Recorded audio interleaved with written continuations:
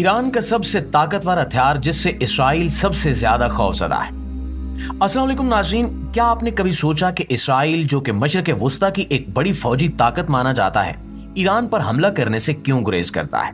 आज हम आपको वो राज बताने जा रहे हैं, जिसने ना सिर्फ़ इसराइल, बल्कि पूरी दुनिया को ईरान के खिलाफ कार्रवाई करने से रोका हुआ है।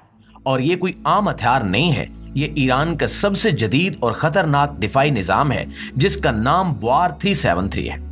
ये नाम शायद आपने पहले कभी ना सुना हो, लेकिन आज की इस वीडियो में आप जानेंगे कि बार 373 दरअसल क्या है और क्यों इसे F-35 का कातिल कहा जाता है।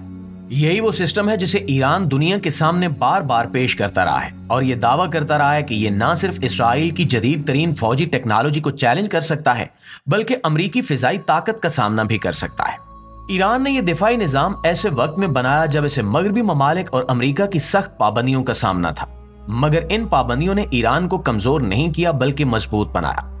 आज वार 373 न सिर्फ़ ईरान की ताकत का निशान है, बल्कि वो हथियार भी है जिसकी वजह से इसराइल ईरान पर हमला करने से पहले सौ बार सोचता है। आज हम आपको बताएँगे कि कैसे ये दिफाई निज़ाम एक आम फौजी टेक्नोलॉजी से कहीं ज़्यादा बेहतर है। लेकिन वीडियो शुरू करने से पहले मेरी आपसे दरखास्त है कि चैनल को सब्सक्राइब लाजमी कर लें, ताकि इस तरह की मजीद वीडियोस आप तक पहुँचती रहें। प्यारे दोस्तों, कबल इसके कि हम वार थ्री, सेवन थ्री की तफसीलात में जाएँ, ये समझना ज़रूरी है कि ईरान कैसे अपनी दिफाई ताकत में खुद कफील हुआ। और ईरान की यह दिफाई खुद कफालत किसी इत्तेफाक का नतीजा नहीं है, बल्कि एक तवील और सबर आजमात जदोजहद का समर है, जिसका आगाज़ ईरान पर लगाई जाने वाली बैन अवी पाबंदियों से हुआ। ये पाबंदियाँ किसी आम मसले का हिस्सा नहीं थी, बल्कि ईरान को आलमी सतह पर तनहा करने और इसकी फौजी ताकत को महदूद करने की कोशिशों का एक अहम हथियार थी। ईरान को पहली बार पाबंदियों का सामना उस वक्त करना पड़ा, जब 1980 की दहाई में ईरान इराक जंग छिड़ गई।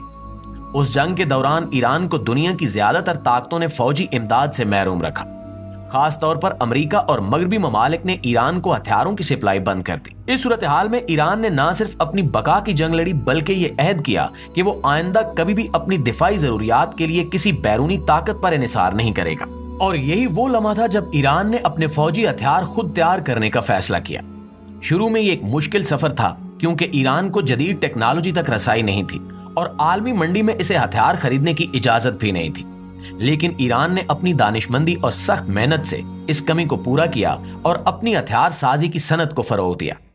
वक्त के साथ ईरान ने छोटे हथियारों से लेकर जदीद मिसाइल सिस्टम्स तक हर किस्म के जंगी आलात खुद तैयार करना शुरू कर दिए।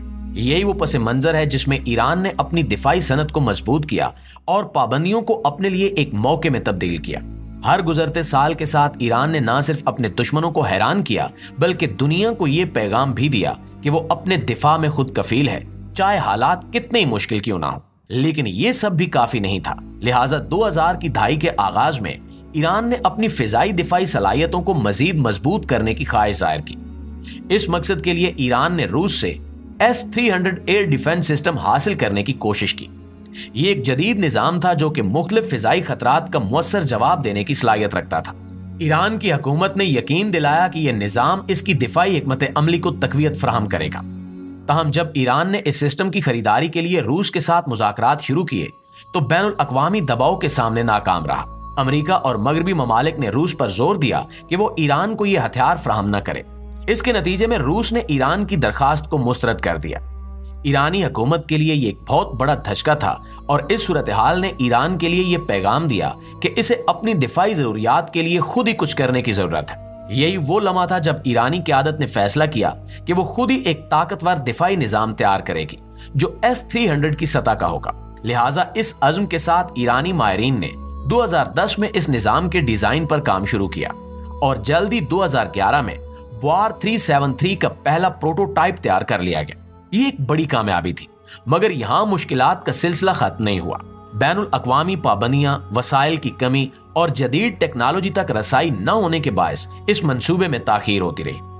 मगरबी ममालिक ने ईरान पर दबाव बरकरार रखा ताकि वो अपनी फौजी तरक्की में नाकाम हो जाए। लेकिन ईरान ने अपने इरादे को कमज़ोर नहीं होने दिया। पाबंदियों के बावजूद ईरान ने अपने दिफाई मंसूबे को जारी रखा।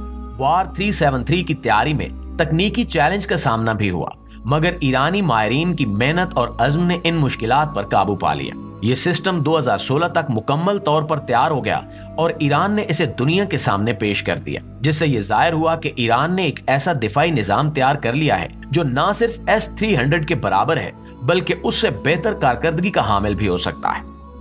नाजीन, ये दिफाई निज़ाम न सिर्फ़ ईरान की अपनी सरहदों की हिफाजत के लिए एक आम हिसार है, बल्कि ये अमेरिका और इसराइल जैसे ताकतवर दुश्मनों के लिए भी एक संगीन चैलेंज साबित हुआ है। ईरान ने इस निज़ाम को खास तौर पर ऐसे दुश्मनों के खतरात का मुकाबला करने के लिए तैयार किया है, जो जदीद तरीन फिजाई टेक्नोलॉजी के हामिल है। जैसा कि अमेरिका के एफ़ थर्टी फाइव लड़ाका त्यारे और इसराइल की फिजाई फौजी ताकत। इसराइल हमेशा से ईरान के जौरी प्रोग्राम और फौजी ताकत से खौफजदा रहा है। लेकिन इस निज़ाम की तखलीक के बाद ये खौफ मजीद बढ़ चुका है, क्योंकि ये निज़ाम इसराइल की जदीद फिजाई कुत के लिए एक संगीन खतरा बन चुका है।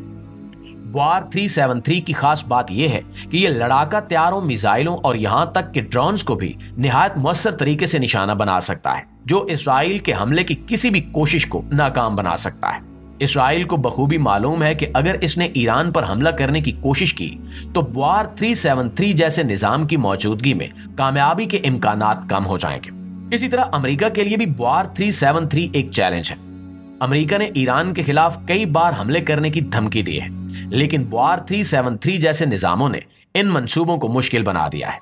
अमेरिका जानता है कि ईरान की फिजाई हदूद में दाखिल होना अब पहले से कहीं ज़्यादा खतरनाक हो चुका है, और इसका मतलब यह है कि अमेरिका को किसी भी किस्म के फिजाई हमले से पहले इस निज़ाम का सामना करना होगा। प्यारे दोस्तों, इस टेक्नोलॉजी की ताकत का अंदाज़ा आप इस बात से भी लगा सकते हैं कि 2022 में यूक्रेन ने ईरान पर इल्ज़ाम लगाया कि इसने ये जदीद दिफाई निज़ाम रूस को फ्राहम किया है, जो यूक्रेन के खिलाफ जंग में इस्तेमाल हो सकता है। ताहम, ये इल्ज़ाम इस बात का सबूत है कि बुआर 373 न सिर्फ़ मशरक वस्ता बल्कि आलमी सियासत में भी अहमियत इख्तियार कर चुका है। ये निज़ाम एक ऐसी टेक्नोलॉजी की अलामत बन चुका है, जो बैन अवी सतह पर हथियारों की तजारत और जंगी हमत अमलियों में भी इस्तेमाल हो सकती है। ईरान का यह दिफाई निज़ाम न सिर्फ़ अपनी फौजी कुत को मज़बूत करता है, बल्कि इसकी बैन अवी हैसियत को भी मुस्तकम करता है। क्योंकि यह ज़ाहिर करता है कि ईरान जदीद टेक्नोलॉजी के मैदान में किसी से पीछे नहीं है। इसके अलावा 2022 में ईरान ने बुआर 373 को मजीद अपग्रेड किया है, जिससे इसकी रेंज और महारत दोनों में मजीद इजाफा हुआ है। इब्तदाई तौर पर इस निज़ाम की रेंज 200 किलोमीटर तक थी, मगर 2022 की अपग्रेडेशन के बाद इसकी टारगेट रेंज को बढ़ाकर 300 किलोमीटर तक कर दिया गया।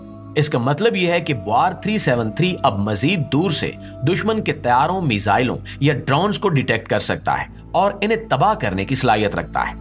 ये अपग्रेडेशन वार 373 को दुनिया के जदीद तरीन एयर डिफेंस सिस्टम की सफ में ला खड़ी करती है। जो ईरान की दिफाई सलाहियतों को पहले से कहीं ज़्यादा मौसर और मौलिक बनाती है। यह निज़ाम ईरान की दिफाई हमत अमली का एक लाजमी हिस्सा बन चुका है और इसकी मौजूदगी दुश्मनों के लिए एक खुला चैलेंज है।